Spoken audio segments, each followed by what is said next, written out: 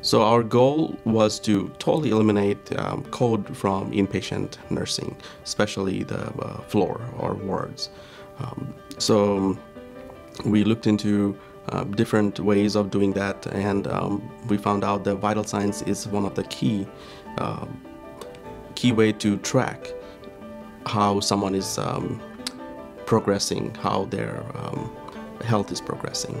We wanted to integrate the vital sign machines to EHR when we invited Philips to come and show us their product, how it's going to be done. Philips um, mentioned that they can also do um, vital signs early warning scoring system on the device, and um, and we said, wow, you know that's possible. Um, so yeah, let's do it. Let's see what happens. So the Guardian system helps uh, many ways. It tracks the subtle changes in the vital signs.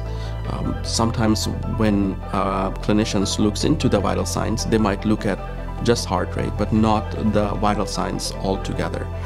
And a subtle change that's happening in vital signs, that's an indication either a patient is getting better or it's getting worse.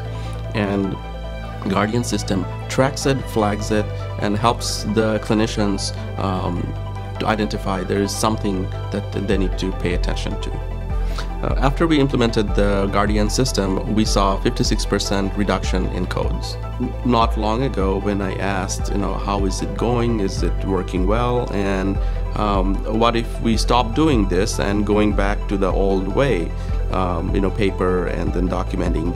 And the nursing assistant nurses said, you know, why would you do that to us? So I'm really excited, and our team, our nursing team, also excited a bit surprised.